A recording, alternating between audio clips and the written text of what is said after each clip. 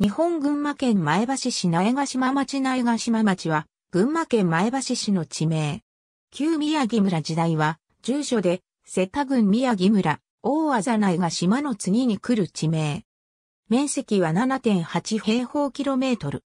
郵便番号は371-0241。町目はなく住所の後と番号が振られる。前橋市の北東部、赤城山の南麓、粕川上、中流右岸に位置する。道町には赤城温泉郷がある。西隣には花毛国町、柏倉町、東隣には粕川町中の沢、粕川町室、沢、南隣には大前田町、北隣には三代沢町。南北朝時代頃からある地名である。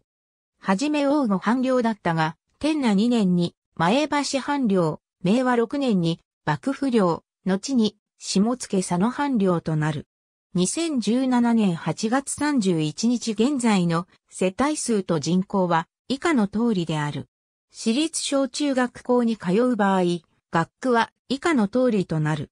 近隣の茂木町に高下電気鉄道高下線大御駅があるが、町内には鉄道駅がない。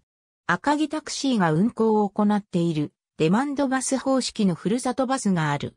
国道は国道353号、県道は、群馬県道333号上関梅王五線、群馬県道102号三代沢国定停車場線、群馬県道16号、王御石城線が通過。赤城温泉、郷忠春温泉東町が避難対象区域となった場合、隣接する花毛国町にある前橋市立宮城中学校に避難する。ありがとうございます。